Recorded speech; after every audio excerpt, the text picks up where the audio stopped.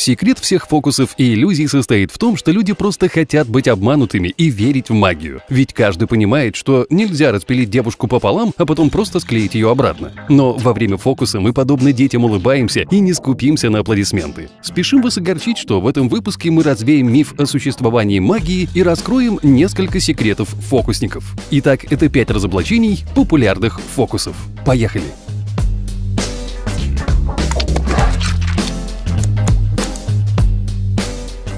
Хождение по воде. Каждый иллюзионист мечтает пройти по воде. До 21 века это удалось лишь одному, да и то в библейские времена. Зато в наши дни, благодаря развитию технологии, фокус стал осуществим. В числе первых его продемонстрировал миру британский иллюзионист Стив Фрейн, известный как Динамо. Да как эффектно продемонстрировал, прошел не по какой-нибудь воде, а по самой Темзе. Фишка данного фокуса заключается в массивной нетонущей платформе из плексигласа, которая заранее была поставлена на якорь у набережной. В принципе, происходить дело в бассейне с чудесным пресной, журчащей хлорированной водой, платформа была бы видна невооруженным глазом. Но речь о Темзе. Здесь вода такая темная, волнистая и грязная, что, задумай иллюзионист пройтись по утопленникам, наряженным в разноцветные перья, никто и этого бы не заметил. Освобождение из китайской водяной камеры – 1912 году этот фокус исполнил небезызвестный Гарри Гудини. С тех пор освобождение из ящика с водой стало одним из самых уважаемых фокусов в мире. Существует десятки интерпретаций освобождения. Секрет трюка по большей части в замке камеры, но и в отличной физической подготовке иллюзиониста, которому предстоит выбраться из нее. В тот момент, когда ассистент фокусника запирает замки на крышке, маэстро незаметно вытаскивает стержни из петель, удерживающих крышку. Поэтому, чтобы выбраться, иллюзионисту достаточно сильно напрячь мышцы пресса, подтянуться и вылезти из открытой камеры. Возможно, вы сейчас скажете, пух, да это каждый может. На самом деле китайская водяная камера пыток считается настоящим смертельным номером. Посудите сами. Исполнитель трюка минимум 3 минуты проводит подвешенным вниз головой, что само по себе испытание. Прибавьте к этому погружение в воду, необходимость физической нагрузки и риск потерять сознание от притока крови к голове. В итоге получаем не просто фокус, а реально рискованный трюк, в котором иллюзионист ради нашей забавы рискует собственной жизнью.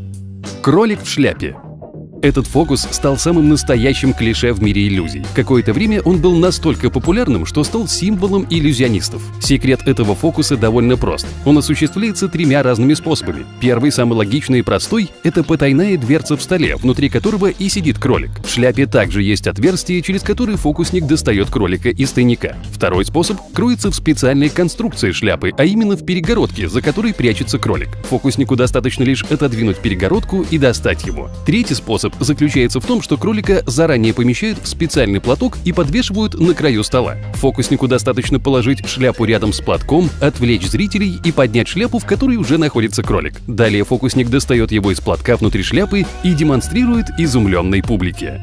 Метаморфозы Придуманный в 19 веке фокус метаморфозы обрел огромную популярность. Его выполняли почти все известные фокусники, в том числе великий Гудини. Каждый привносил в фокус что-то новое, но самыми запоминающимися исполнителями фокуса оказались Джонатан и Шарлотта Пендрагоны. Они настолько преуспели в этом фокусе, что на саму метаморфозу у них уходило 2 секунды. Фокус заключался в следующем. Джонатан запрыгивал в мешок, находящийся в ящике. Шарлотта завязывала его, затем закрывала ящик и запирала его ключом после чего девушка забиралась на ящик, закрывала себя тканью и подбрасывала ее, но ловил ткань уже Джонатан. Потом он открывал ящик и развязывал мешок, в котором оказывалась Шарлотта. В чем же суть? В первую очередь, сундук очень легко открывался, несмотря на все замки. Там просто был еще один выход. Во-вторых, дно мешка было дырявым. Когда Шарлотта поднималась на ящик с тканью, из него выходил Джонатан, который принимал эстафету, а Шарлотта пряталась в мешок. Все дело в четко отрепетированных действиях фокусников.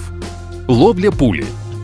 Фокус с ловлей пули – один из самых древних и уважаемых. Веками он совершенствовался, пока не достиг своей вершины в исполнении фокусников Пенна и Теллера, одновременно стреляющих друг в друга и ловящих пулю ртом. Для успешного проведения фокуса с пулей важна не столько кропотливая подготовительная работа, сколько ловкость рук, щек и языка. Пули, которые демонстрируют активистам из зала и которыми в итоге выстреливают, поддельные. Они разрываются, едва вылетев из дула. Вы спросите, а как же метки, которые оставляют все те же активисты? Фокусник четко четко озвучивает, какие инициалы ставит доброволец на пуле и что он рисует на гильзе. В это самое время ассистент за сценой изображает на уже отстрелянной заранее пули инициалы. Фокусники подходят к вешалке, на которой их поджидают защитные жилеты и маски. Обратите внимание, вешалки расположены рядом с занавесом. Это роковой момент. Оба фокусника отворачиваются от камеры. На секунды они вне поля зрения окружающих. И тогда-то ассистенты кладут пули им в рот. Самое время восхититься красноречием иллюзиониста. Он продолжает свой отвлекающий зрителей монолог об опасности огнестрельного оружия, удерживая за щекой пулю. Дальше дело техники и тренировок. Все, что остается фокусникам, это прицелиться, выстрелить холостыми, а затем, прикрываясь пороховой завесой, выпихнуть пулю из-за щек и зажать ее между зубами. Теперь, когда вы узнали несколько секретов фокусников, не спешите обвинять их в обмане. Помните, что фокусы и иллюзии созданы, чтобы развеселить зрителя и хотя бы на мгновение заставить поверить в чудеса, которых так не хватает в повседневной жизни. А на этом сегодня все. И не забудьте подписаться. Моя мастерская – твое настроение.